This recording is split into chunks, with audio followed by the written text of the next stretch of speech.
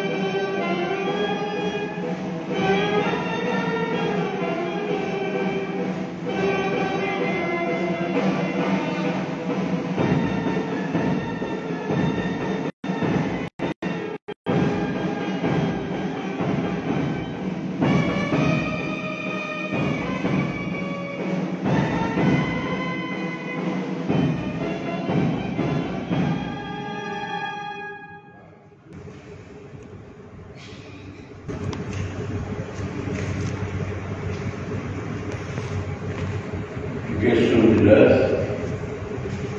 and dear friends. Congratulations and best wishes to all of you on International Yoga Day. I'm very happy to participate in the mass yoga program.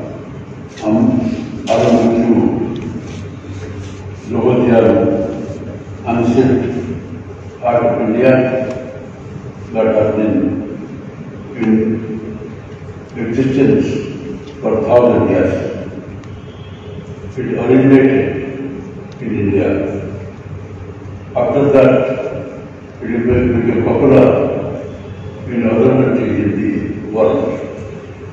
But in the public came when at the initiative of our Prime Minister Sri Narendra Modi, the United Nations decided to celebrate June 21 as International Day in the year 2015.